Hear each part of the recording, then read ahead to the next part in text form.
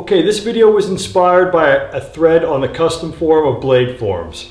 It was a thread in which I spoke about the late great Phil Hartsfield's blades, specifically his Kwaikens. In that thread, um, a lot of people came out and paid homage, which I thought was just awesome that Phil was getting the, the well-deserved respect that a maker of his stature and status in the knife community should receive.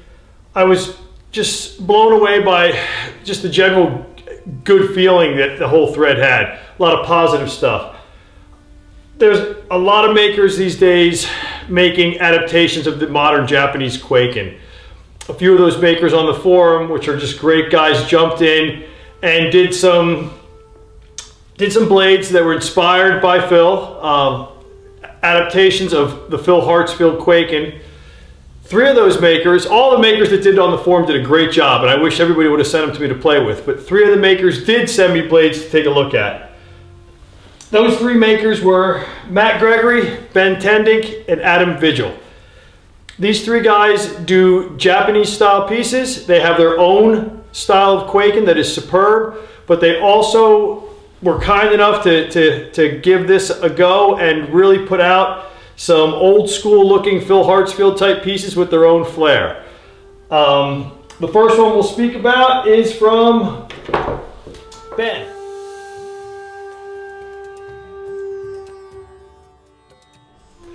Ben Tendick is just a fantastic maker. He is doing some wild Japanese creations.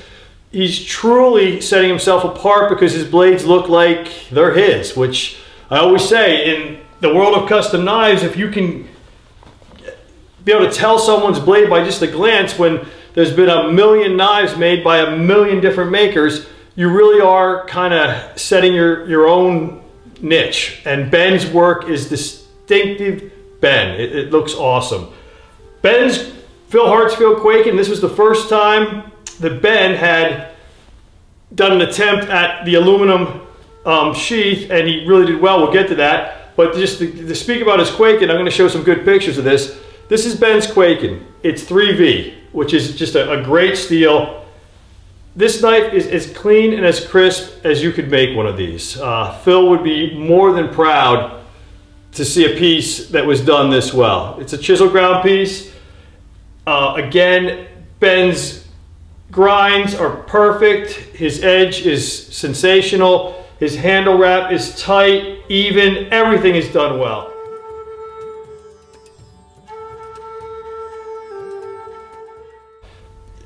I knew Ben was going to knock it out of the park because of Ben's skill set. And Ben is a very skilled maker. Ben's making me another variant of this that there'll be another video on that I'm really jazzed about. Just a, a very cool, cool piece that we kind of combined thoughts on and came up with a, a, a Kwaiken with a, a, bit more Sori, which is going to be very cool. Sori is Japanese curvature, well, the term for the Japanese curvature.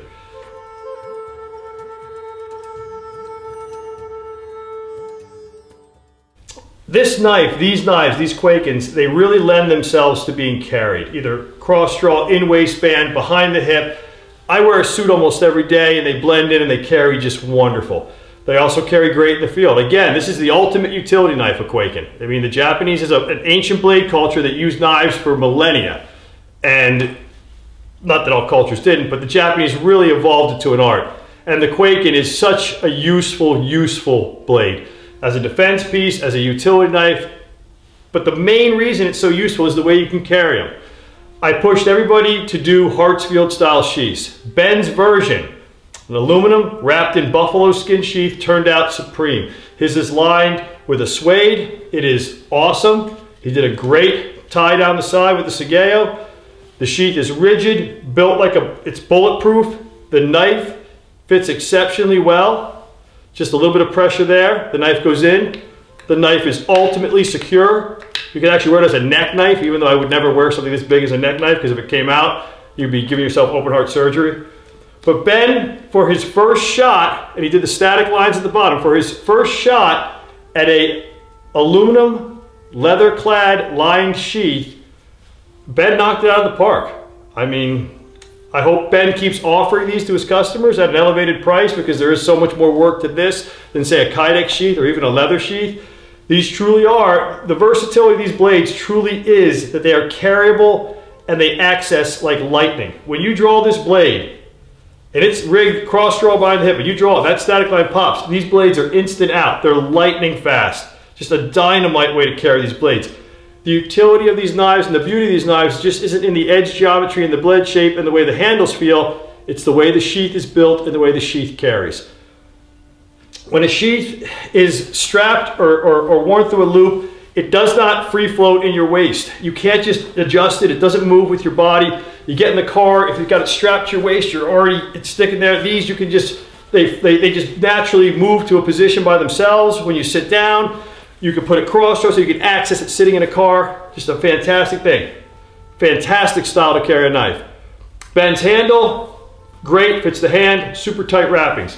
Ben Tendick, we're gonna show his info, how to get a hold of Ben. All I can tell you is that if you're a Japanese blade fan, Ben makes some fantastic work and I, I highly recommend it.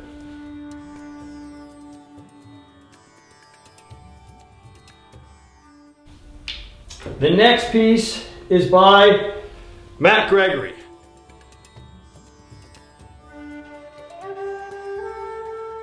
Matt is a friend of mine. Matt not only is one of the most talented clean knife makers, when I say clean, I mean everything he does is done superb. He is such a clean maker.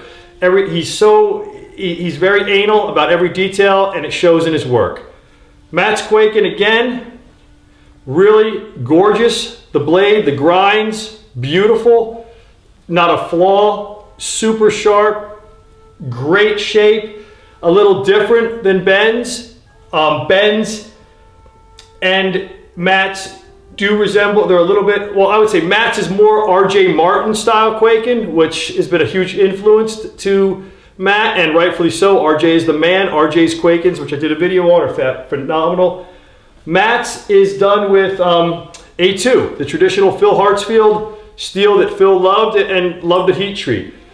Matt, if you don't have a piece from Matt, Matt's I don't want to say regular Kwaiken, but the style of Kwaiken that Matt excels at. Matt uses a lot of Kydex. Great, great sheath deployment. He has a very beautiful Kwaiken that he's kind of adapted at his own style. He was kind enough to come out and do one of these in the Phil style. Again, Matt Gregory, phenomenal knife. We get to the handle. Matt did something very cool here. He really gave this a tapered handle. Now you'll see it in the pictures a lot better. Now what that does is it still fits the hand. The Biggs Turk stock gives you good purchase on it. But what's really nice about this, the way it carries, the handle's very small. When this is carried like that, under your suit coat or wherever, I mean, this handle is going to, being black, it's going to blend in. Very, very concealable. Another important thing. Again, Matt's first attempt at an aluminum sheath, and Matt knocked it out of the park. Uh, Matt's one of these guys that overthinks everything. So you know if you're getting a piece from Matt Gregory, it's going to be done very, very well. Matt's sheath, again, is superb. Done very well, easily. The knife slides in and out. It's a suede line sheath again. It's got the static line right at the bottom. Again, super secure. Very, very cool. You can wear it as a neck knife. Not that you would wear a knife as big as a neck knife. But you, that's how good the, um, the fit is on the sheath. It really fits in beautiful. Very nice. Matt's making me a larger one that is double ground. These are chisel ground. Uh, I'm very excited to get this piece, but again, I'm gonna put Matt's info up at the end. Matt Gregory, if you're looking for any type of blade, but especially the Kwaikens, Matt does a knock-up, fantastic job. And even if you're not into the, the Hartsfield style, Matt's own style is very striking. Matt Gregory, awesome, awesome homage. Thank you, buddy.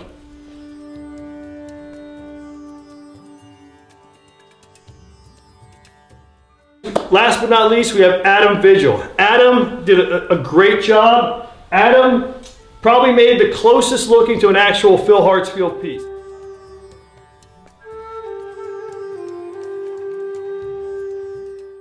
Adam knew Phil well and visited Phil. So Adam had a good, good understanding of what Phil was doing. Adam's piece is very, very Phil-like.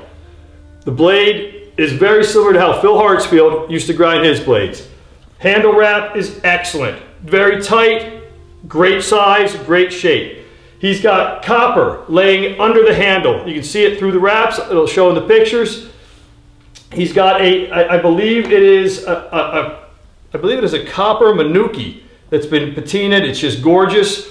Very, very, very cool Kwaiken.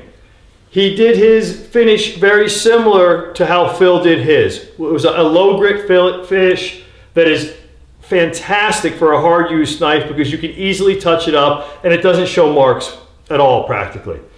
Adam Vigil, truly, truly a very, very, very, feels very much like the late great Phil Hartsfield's Kwaiken. Knocked out of the park. He used ATS 34, and that's a steel that I, am used to the A2s, that's what Phil always used. I, am very interested in this because the A2 Kwaikens were very susceptible to rusting. If you contaminated the sheath, a lined aluminum sheath is very, they're not one you want to contaminate, you wreck the sheath.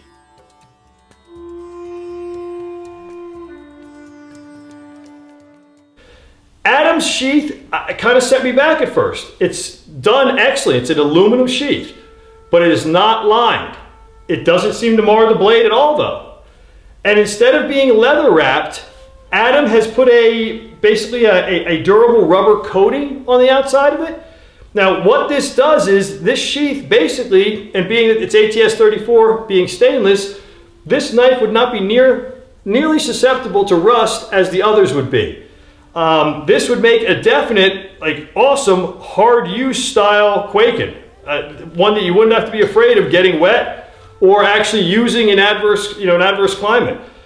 This, of all the Kwaiken sent to me, even though I was set back at first by the rubber covered um, aluminum sheath, and even though he's textured the rubber to give it a leather look, at first, I, I, when, I, when, he, when, he, told me that's what it was, I, didn't know what to think. I, am so into the leather lined aluminum sheaths.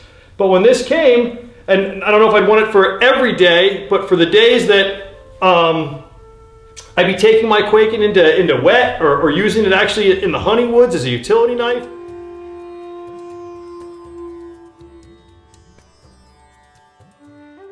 and just you know any kind of fishing or just general hard knock around use Adam's interpretation of the Hartsfield sheath is kind of ingenious, and I'm really digging it. Knock up job, Adam. Again, just a, a really, really great fit. Again, with this superb fit, I mean, it's really in there. It's not coming out. Again, you could wear it as a big neck knife. But when it's on your belt, hits the static line, draws quick and smooth. Just a superb rendition of the Phil Hartsfield Kwaiken.